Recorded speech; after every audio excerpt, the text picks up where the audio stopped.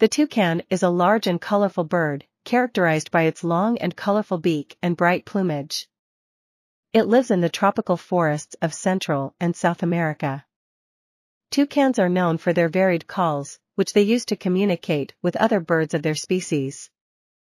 They feed on fruits, insects, and small animals.